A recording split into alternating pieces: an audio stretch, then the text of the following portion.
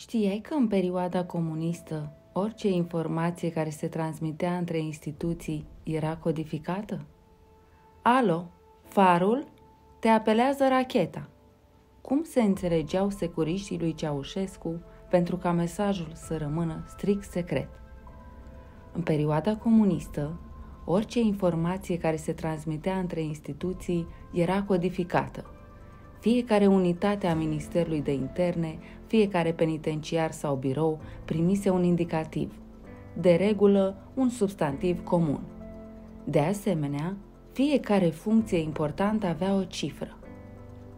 Inițial, o astfel de listă a fost întocmită în anul 1970, dar cum ulterior a luat ființă Ministerul de Interne, ea a fost modificată. Un document strict secret, de importanță deosebită, emis în 1974 de Comandamentul pentru Tehnică Operativă și Transmisiuni Unitatea Specială R, se află în arhivele Consiliului Național pentru studierea arhivelor securității.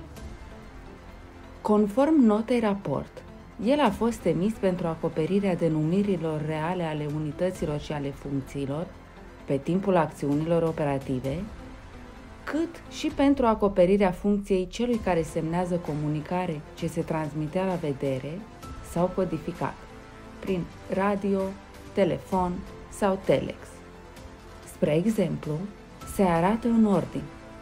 Dacă Inspectoratul Județean Alba al Ministerului de Interne are de transmis un mesaj prin radio în fonie la Inspectoratul Județean Suceava, face apelul folosindu-se de indicativele din tabel. Alo, Rafala, te cheamă șlepul. Apelul se face prelungit prin repetarea ambelor indicative. După stabilirea legăturii, se comunică mesajul și funcția codificată a semnatarului, respectiv 820, care, conform tabelului, înseamnă șef al inspectoratului.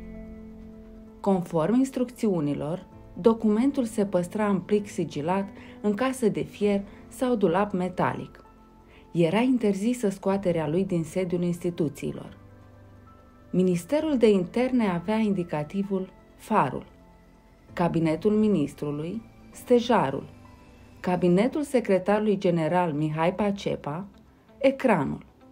Direcția Organizare-Mobilizare purta numele STEMA. Serviciul Central de Planificare, Ulița. Redacția gazetei în slujba patriei, Vioara. Direcțiile statului erau, la rândul lor, protejate. Direcția ei se numea Brățara. Direcția specială S, Faleza. Direcția de pașapoarte, evidența străinilor și controlul trecerii frontierei, Straja. Serviciul de aprovizionare și depozitare București, Abajurul. Corpul de control al ministrului, calculatorul. Serviciul sanitar Urzica, Comitetul de Partid și UTC, activul. Zeița trupelor de securitate. Și trupele de securitate erau codate.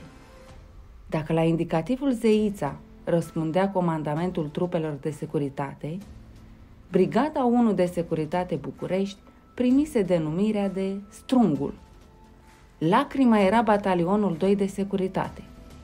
Calcarul era batalionul 5, iar Galantul batalionul 10. Alte denumiri Sacul, Lacrima, Cadrilul, Galaxia, Stela, Pucioasa, Abanosul, Cameleonul, Răsadul, Tropicul, Elita. Batalionul 7 Securitate București se numea Mușcata. Brigada 18 Securitate Constanța, dirijorul. Brigada 36 Securitate Timișoara, Cascada. Batalionul 63 Securitate Fălticeni, Prispa.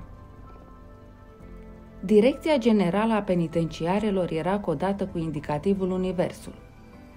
Toate penitenciarele de pe cuprinsul țării purtau, la rândul lor, denumiri. Aiud, Trăsura, Craiova, Adăpostul, Jilava, Turela, Timișoara, Protocolul, la indicative, primăvara, pusnicul, adeziunea, casca, narcoza, blocul, laminorul, lampadarul, felinarul, imperiul, sabie. Mușchetarul de la miliție. Când se vorbea de studioul, toți știau că este vorba de inspectoratul municipiului București. Și restul inspectoratelor din țară aveau coduri. Șlepul, prudentul, capsula, diagonala, satelitul, stuful, ocheanul, mușchetarul. La capitolul învățământ, școlile de partid și de stat primiseră indicative. Școala militară de ofițeri a Ministerului de Interne se numea Aeroportul. Centrul de instruire Bran, Imnul. Școala militară pentru pregătirea subofițerilor de miliție de la Câmpina, Oastea. Și funcțiile erau codificate cu cifre. Secretarul general Mihai Pacepa era 589. Un ofițer de contrainformații militare 735. Un ofițer sectorist 765. Trupele de securitate vorbeau despre Elena și Nicolae Ceaușescu folosindu-se de cuvintele soarele și luna.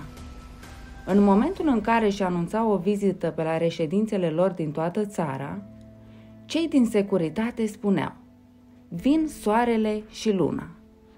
Până data viitoare, toate cele bune.